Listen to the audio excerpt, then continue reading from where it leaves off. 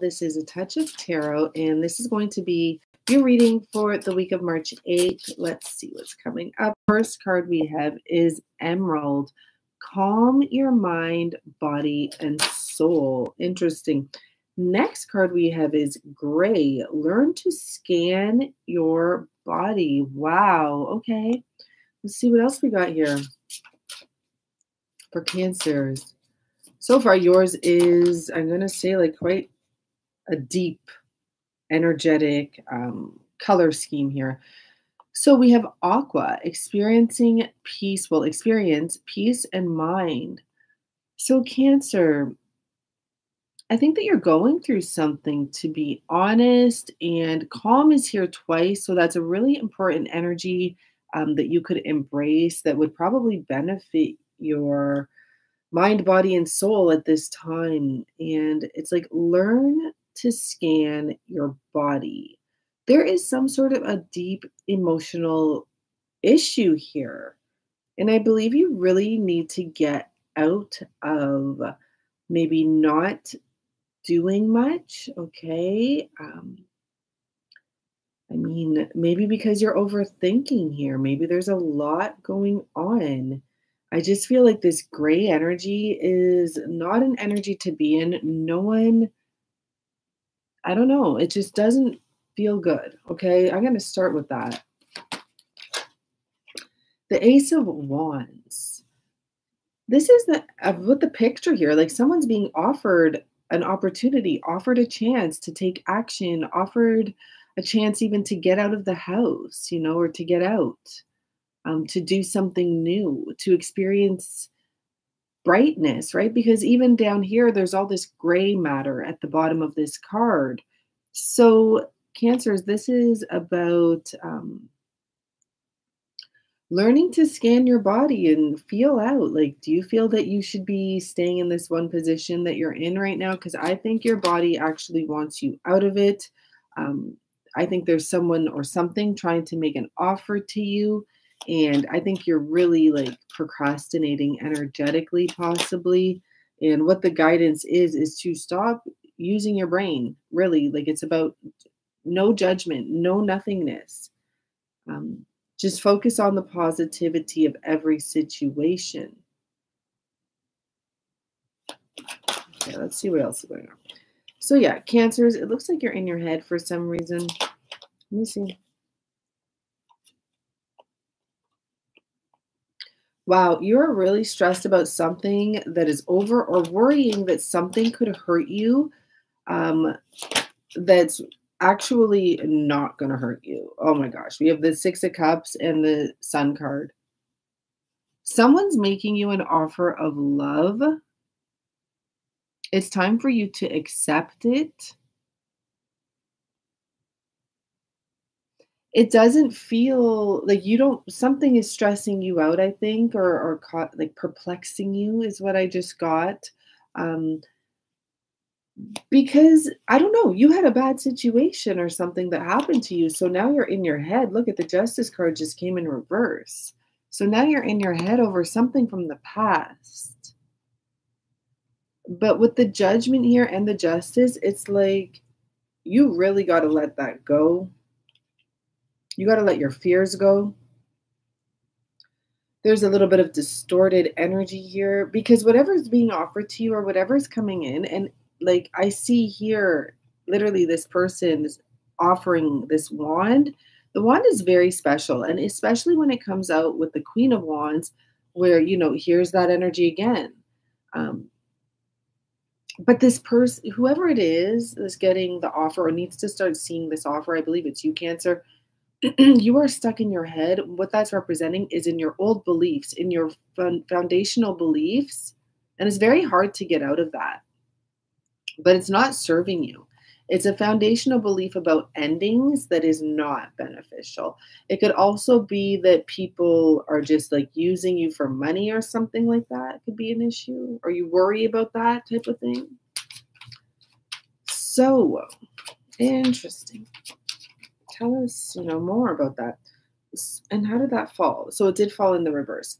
So actually, um, finding peace in facing your fears um, is the way you would release yourself from being in your head cancers. That's what I'm getting here. Following your heart is very important here with these two cards showing up. But there really is an energy here of someone ha having hurt you in the past, okay, Cancers? So what's going to happen here? What's going to happen? So if you were to follow this energy, King of Cups and Six of Wands here, um, it could be success. It really could. It looks like you are thinking about it and you are fighting your guidance. Okay, Cancerians, let's see what else. What's that about? Fighting your guidance. Hmm?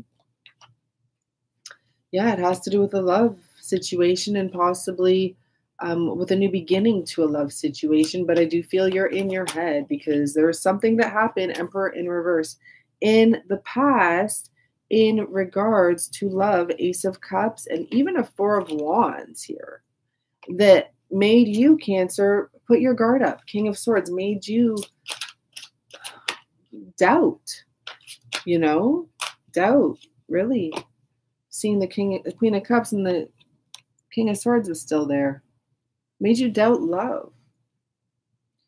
Um, any advice I can give you, Cancers? Because yours so far is kind of the darkest energy. It's about seeing the opportunity here, uh, opportunity here, allowing love in and letting go of the past, whatever that past may be. You're definitely hanging on to it, and it's time for a new beginning. I mean, this reading was way too fast, Cancers, but who's this new beginning? Okay, wait, let me just, it could be with someone that you are going back to, but who is this new beginning with? Tell us who's the person. Well, it's someone that never let you go. It's someone that had a, um, a very strong wish that this would happen. It's someone you hung on to, is really more what it's saying. But you hung on to each other like you do want this um, you may have not seen the possibility in the past, but I do feel that you were this person's wish. Wow. Yeah. Seeing the star card here. Um, strong air energies here as well. So this could be an air energy that you were having trouble letting go of as well. Is that more like it? Yeah. Ace of Pentacles in reverse. There could be someone you were having trouble letting go of. This can be the situation that kind of turned you. It could have been with an air sign that involved money. Ace of Pentacles in reverse, and maybe even secrets with the High Priestess. Um, also lies, okay? Seven of Swords. So you got to figure that one out. We have the star card, you could have been stuck to an air sign here um, and unhappy as well as what I'm seeing here because there was lies going on and you may have felt much like a fool. Interesting. You may have also tried to work on that situation and it just bit you. And this may be why you're in that stagnant energy right now, and that dark moon energy uh, turning into like a King of Swords energy in your mind about what happened in that situation exactly. Where did it go wrong? Where were the plans made wrong?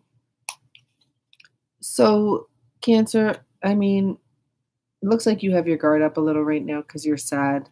And it looks like there's a situation or a past energy you have to let go of. Plain and simple. Um, there may be love coming in, but it just really and it's and it looks good, like good love, but it looks like you're also hanging on to a past energy. You really got to calm your mind, body, soul.